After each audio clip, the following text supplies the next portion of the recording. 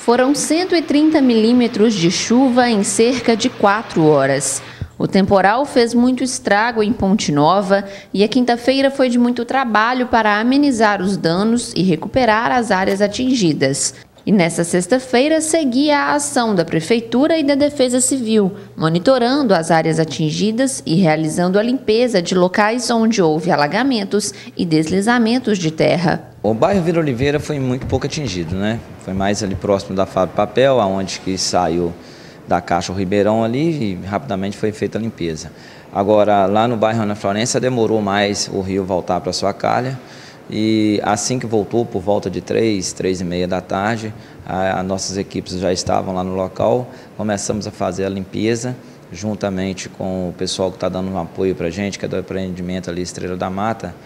E hoje a gente já, a nossa equipe chegou lá por volta de seis, seis e meia da manhã para finalizar.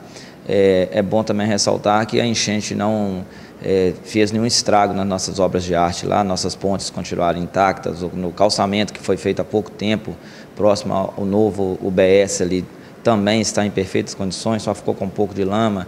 A olaria de baixo, que foi toda calçada né, é, no, no, começo desse ano, também não, não teve problema nenhum na, na, pavimentação, no calçamento, ficou tudo em perfeitas condições. E, e hoje nós estamos continuando fazendo as vistorias da mesma maneira de ontem, naqueles setores que foi dividido, os oito setores. Nossas equipes já estão todas é, aqui na prefeitura, já estão saindo para fazer os atendimentos e durante todo o dia a gente vai quantificar e mais tarde a gente vai ter o levantamento completo de quantas famílias foram atendidas. Como foi dito por Cícero, a cidade foi dividida em oito setores, o que facilitou o monitoramento e o atendimento das ocorrências. Como choveu 130 milímetros, então teve vários locais que teve muito deslizamento, pequenos deslizamentos, mas teve. Então estava tendo uma demanda muito grande de vistoria. Então, para não ficar perdido, cada um vai para um lado, nós achamos melhor, né, o prefeito achou melhor a gente dividir o setor que cada um ficava responsável por um certo bairro.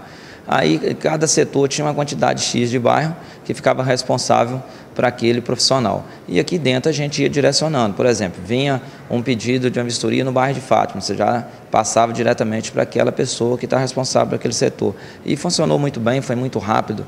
É, ontem nós trabalhamos até as 9 da noite, até as 9 horas da noite, e praticamente atendemos todas as ocorrências.